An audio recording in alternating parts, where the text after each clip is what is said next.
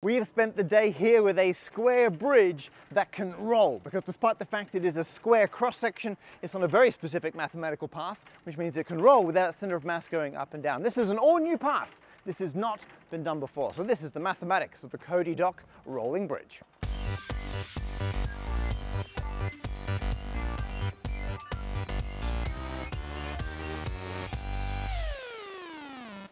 This is Cody Dock in the east end of London, which is traditionally a very industrial kind of area. But over time, the kind of water-based industry has been gradually leaving, and this has been you know, revitalized and there's more community coming in. And so they decided to renovate this disused bit of water here to provide more um, large boat docking where there's not space for on the main river. So over there, that's like the main river that joins onto the Thames. However, at the moment, there's no way to get a boat from out there into the moorings over there. So if they're going to fix this up and they want to get boats in this big, they have to get rid of this dam, which is the current pedestrian bridge. And this is a very pedestrian heavy area. So if they want to get rid of this, they have to put in a new bridge that can move out of the way to let the boats in and out. And originally they got planning permission for like an off-the-shelf, you know, cantilever up and down bridge. You can basically buy it in a box from somewhere in the Netherlands.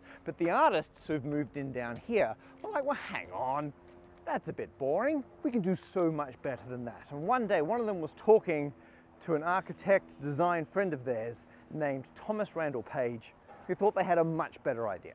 So I knew that you could have um, cogs which weren't circular that could interface as long as you had the kind of ins and outs on the cogs um, that corresponded with one another.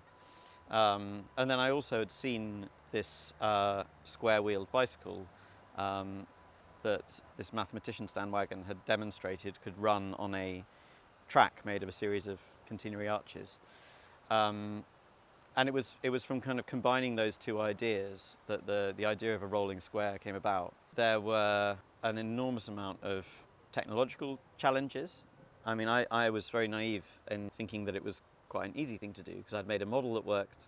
And then uh, as soon as we kind of, you up the scale and all the forces get larger, all the weights get bigger, and you, you know, friction and wind and all these things start to really play quite major roles.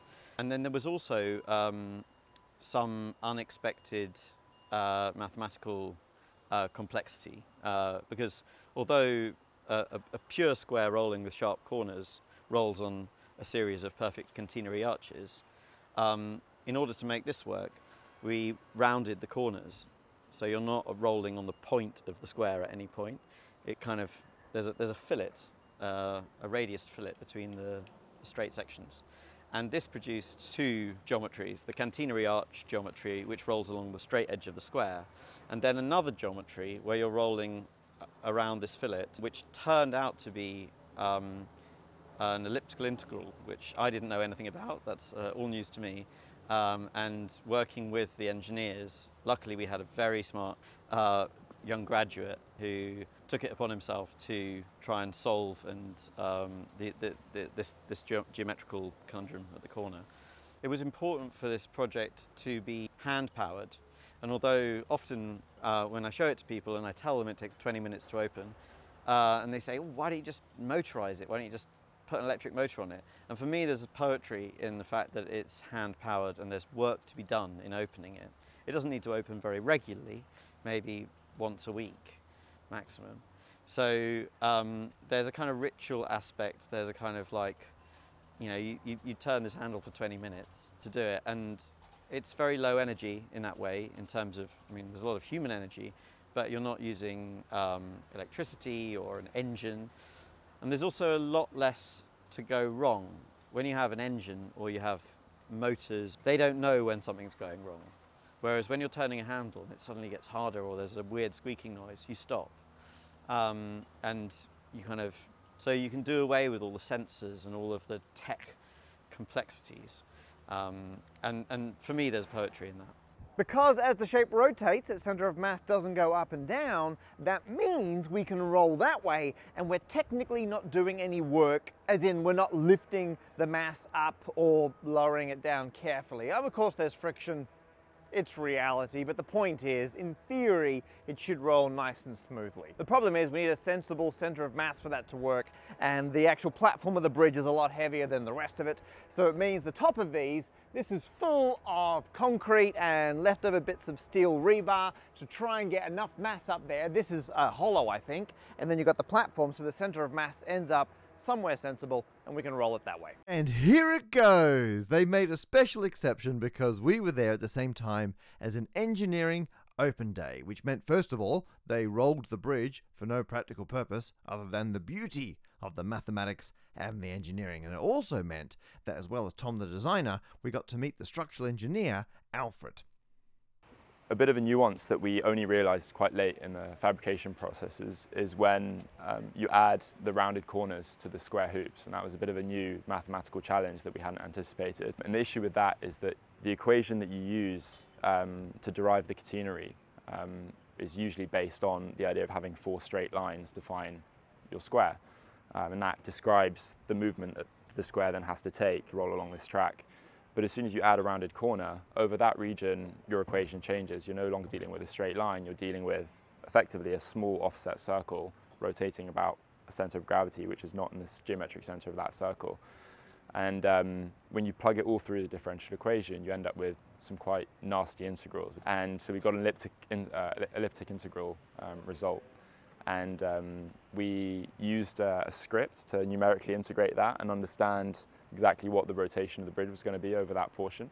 And, um, and from that, we were able to sort of stitch together two results. So one from the catenary result for the straight section, and then one from the rounded corners. And that's how you end up with the overall shape that you have here. To help understand why the rounded corners were so difficult mathematically, I made my own animation here of a square wheel rolling on a catenary surface. The animation's not great, but you get the idea. The point is the center of mass is not going up or down as the square rotates because it's a catenary underneath. And we know the equation of a catenary easy to solve. But those pointy corners are a bit of an issue in terms of the engineering, and so they decided to round them off using sections of circles. So now, when the square bridge is rolling on the flats it's catenaries, and once it hits the corners, that should be easy. Now it's just rolling on a circular wheel. We understand that, except that circular wheel at the bottom is the bit that's rolling, but the center of mass is still up here.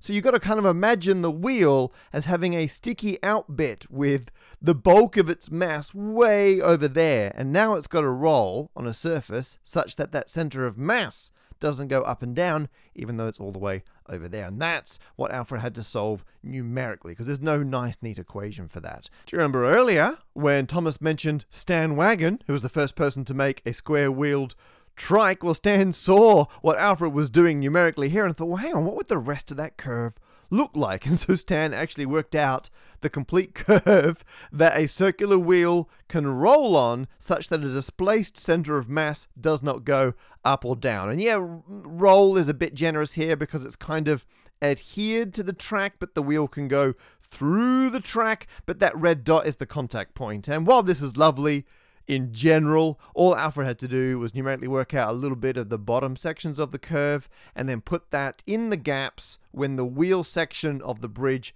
needed to roll. An incredible solution. And that wasn't even the only bit of mathematics that Alfred had to do. Everything's uh, interacting here geometrically, and you've got you know, the length of the track, which um, needs to match the perimeter of the bridge that rolls on it. And then obviously the teeth need to intersect. So once you have um, a set of equations that describe the movement of your bridge, what you can do, which was quite a nice result, you realize is um, take the track and effectively roll it around the bridge in the same way the bridge would roll around the track. You do an inverse transformation of the track around the bridge. And every time the track intersects with the outside perimeter of the bridge, you can, you can make a cutout. So you know that when the bridge then rolls, it's going to miss uh, the pins and you're going to have cutouts in exactly the correct positions.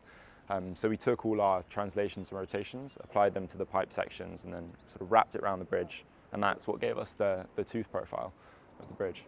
Just before fabrication, when the fabricator, David, who works for a company called Cake, was comparing the total length of the track, which, as I said, should match up with the length of the bridge that rolls on that track.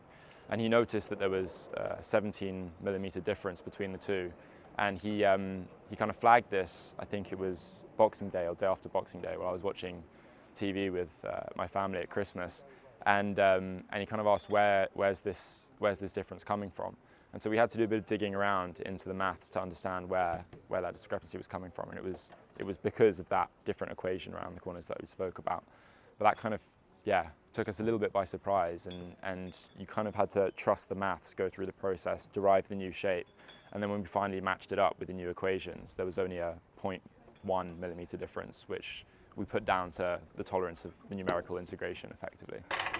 At the end of the day, after everyone had left, we had the pleasure of putting the bridge back into its original walkway position. I can say that this thing is uh, very much true to its Victorian era ancestors in that it can be powered just by a human definitely a non-zero amount of effort. For the record, you can come to visit the bridge, you can walk across the bridge, you can marvel at the bridge, but you can't wind the bridge. You can't just show up and start cranking it. You've got to contact people in advance. And in theory, once it's actually an open bridge and ships are coming through, ships have to phone ahead and people will come out and do this properly. But do visit the bridge, it's very cool.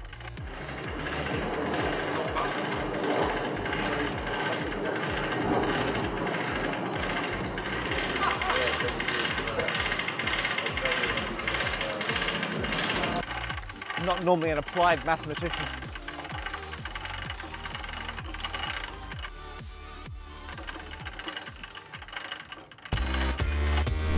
You go, a quick announcement. So this bridge is a fantastic example of taking an interesting bit of mathematics and finding an unusual use for it. And there's a competition on at the moment to take an unusual bit of mathematics and find interesting uses or applications of it. And the bit of mathematics specifically is the HAT, the aperiodic monotile that was discovered recently. In fact, it's the entire uncountably, infinitely many family of aperiodic monotiles. You need to find an unusual use or application for them. So just recently, there was a thing in Oxford called Hatfest, which was to celebrate this discovery, and they announced this competition, which is sponsored by Jane Street. They're my fantastic financial friends who are also sponsoring this video. Yes, it's a sponsor message, so as well as sponsoring my videos and my channel. There is now prize money in two different categories. So if you can find a use, be it practical, artistic, or just downright crafty, for the hat tile or any other member of the aperiodic tiling family, there is one category for school students who are in the US or the UK, and a separate open category for anybody. I am sure there are people watching this video who can come up with some fantastic and unusual applications of the hat tile. So thank you so much to Jane Street for sponsoring the competition and my videos. And thank you to all of you for watching right to the end and some of you I'm sure will enter that competition.